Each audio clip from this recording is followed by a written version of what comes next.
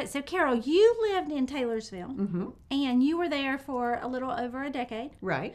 And then you decided to open this store and move up to Adairsville. Right. So, what do you think the biggest difference is between Adairsville and Taylorsville? Well, first of all, Taylorsville is very, very tiny. Very There's tiny. not really much of a downtown. They do have a little bit of one, but not not like this.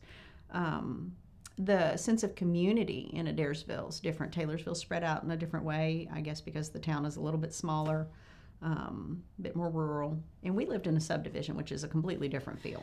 Yeah, because now you're within walking distance of downtown. And so, as you think about Adairsville, because we have so many people that are thinking about moving to our area, Mhm. what do you think you would tell them the top three things about Adairsville is?